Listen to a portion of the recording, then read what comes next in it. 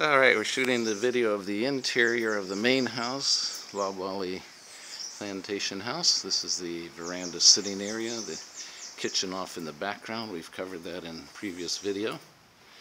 So we're going to walk down into the kitchen. Has a pass-through counter, as you can see, very convenient for when you're serving guests here at the table. The pool and the water in the distance. And when you walk in, it's a well-equipped kitchen. Again, it's been closed up for the seasons, but you can get a sense of feel and layout. There's a lot of windows in this kitchen, so that you feel quite open and airy and high ceilings and so on and so forth. There's a microwave, tiled countertops, as well as wood. There's your range, double sink, dishwasher.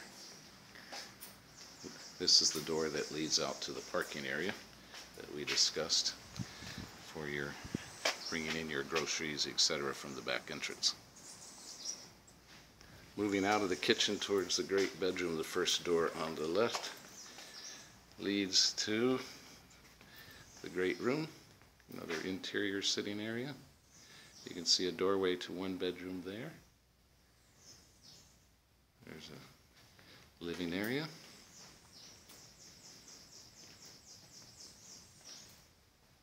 This is a very comfortable room to entertain in.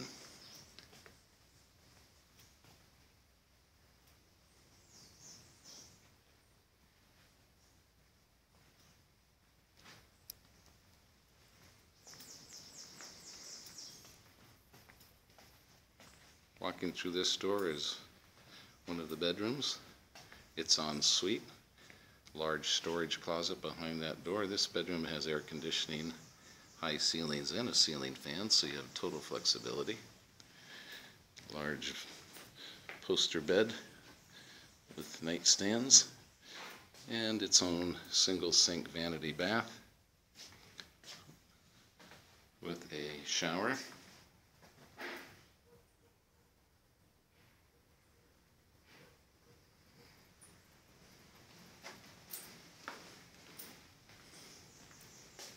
Lots of light, lots of windows.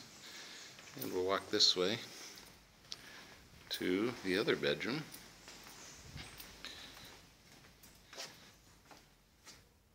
It again has its own, almost like the other bedroom.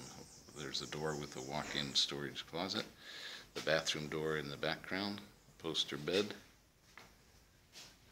air conditioning as well, ceiling fans, single sink vanity, and a shower.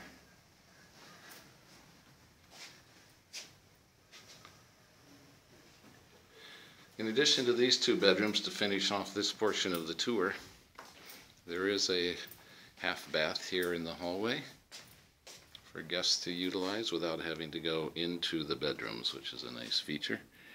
And there's also this what has generally been set up in the past with couches, etc., as a TV room for children, or it could be an office. Uh, I guess you could also make it a bedroom.